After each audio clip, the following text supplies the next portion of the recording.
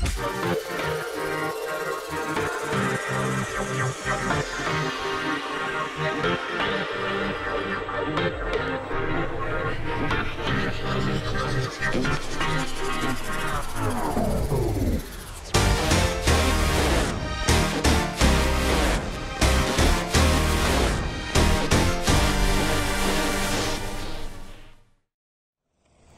morning from Rovaniemi railway station in Finnish Lapland. Today's plan is to take a daytime intercity train towards Helsinki. Today we will be traveling in the compartment above the restaurant car. This is neither first class or second class. The best way to describe it is probably as a hybrid product. While the seats are closer to extra class, which is the first class offering, there's no complimentary service here. But the seats do come with a surcharge compared to standard class. Our train is parked on the far platform today. It has come up from Helsinki yesterday evening and has stayed overnight here, ready to perform the first train south of the day. The train is Intercity 24 starting here in Rovaniemi and going to Helsinki via Seinäjoki and Tampere. Our attraction today is provided by a shiny new Siemens Vectron locomotive pushing six double-decker intercity carriages. Our train is 178 meters long and will be able to complete the trip to Helsinki in just about 8 hours. Intercity 24 takes us on the 902 kilometer journey to Helsinki via Kemi and then continues to Oulu at speeds of up to 200 kilometers per hour. We'll pick up the speed and head further south towards Seinäjoki before finally arriving in Tampere. After a short stop in Tampere, where I will end my journey, the train continues south towards Helsinki.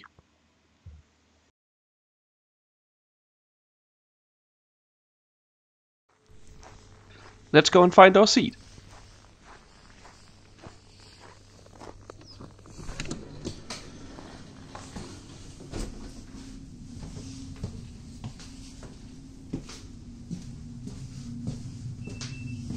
We'll now be heading into the restaurant car.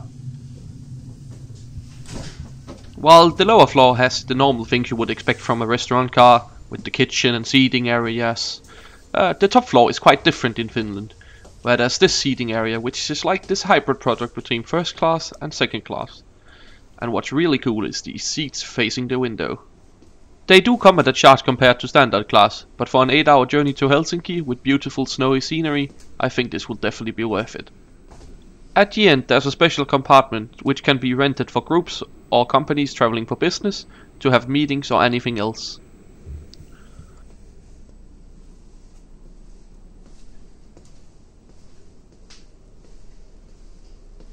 I have reserved seat 201, which is the one right at the end here.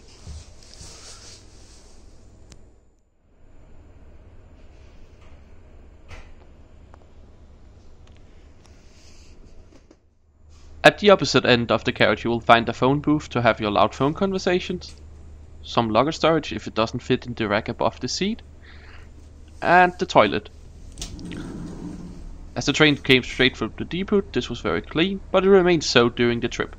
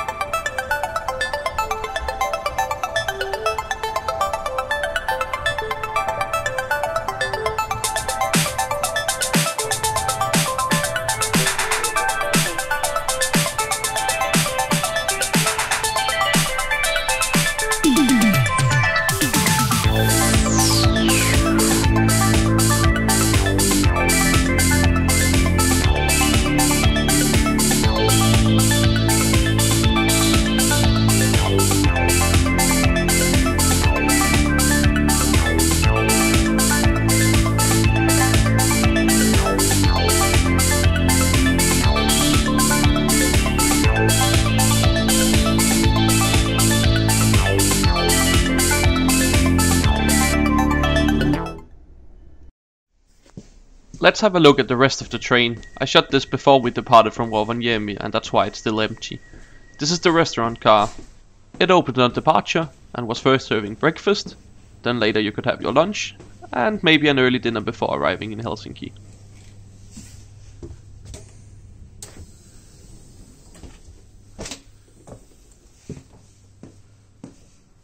The next car is a bit of an everything car, with a children's play area on the top, which we will look at later, accessible toilets, huge luggage space, space for wheelchairs and proms, some standard class seats, and out here is some bicycle storage and some locked luggage storage, as well as a children's compartment at the end here to the left.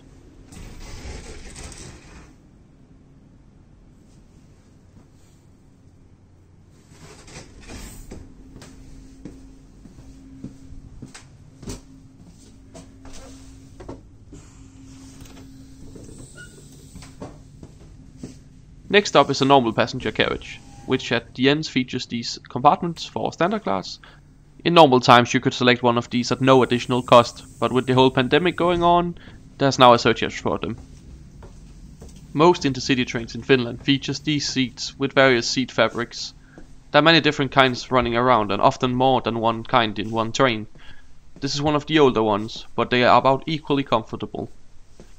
You can check out my review of the standard class seats by clicking the link in the top right corner.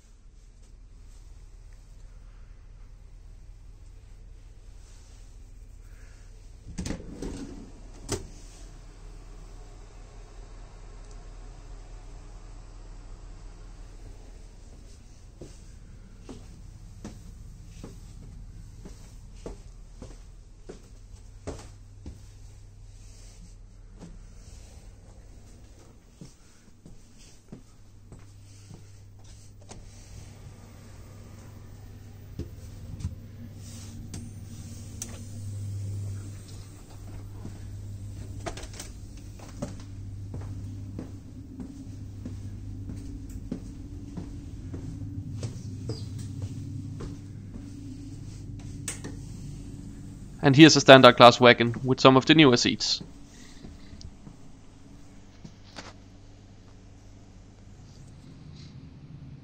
As mentioned earlier, let's have a look at the children's area. Almost all intercity trains in Finland features one of these as long as they are operated by the double-decker carriages. It's free to select a seat here. Do you know any other double-decker trains which has a slide on it? If you're more bring your bike type over bring your kit type, don't, don't worry, the train's also got you covered. And when the hunger hits, you can enjoy a nice meal while cruising through the countryside. The scenery is not that impressive along the railway line. This part of Finland is mostly flat with either forest, villages or open fields. However, it does all look very pretty in the snow. Here we join the railway line from Vaasa in Seinäjoki.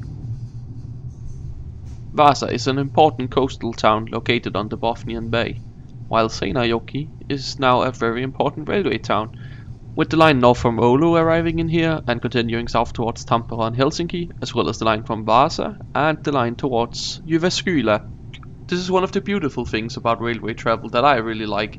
You get to see what life is across a big part of a country and how it changes you have a quick look at some of the smaller and more unknown parts of the world. out of the window and just listening to music makes the time go really quickly. And before long we were approaching Tampere, where I would end my journey today. The Finnish intercity trains offer a great way to travel across the country in great comfort with all the amenities you need and a little more. The trains offer great value even on longer distances, the 6 hour 20 minute journey today to Tampere starts at 27 euros for a standard class seat. If you want to sit in the upper deck of the restaurant car like I did, it's 10 euros on top of that. Personally for a trip of this length, the 10 euro upgrade is worth it. The table space makes it great also if you want to do some work. You can buy your tickets on the website or in the mobile app. You can either print the tickets or show them directly on your phone. You also have the option to buy it from the ticket machine or from the ticket office at some stations. But do keep in mind tickets are more expensive closer to departure and for the best deal you gotta book in advance. The Finnish railway truly have some of the best intercity trains in the world. And if you have the chance to come and experience them, I think you should. If you want to follow my travels in real time, you can follow me on Twitter.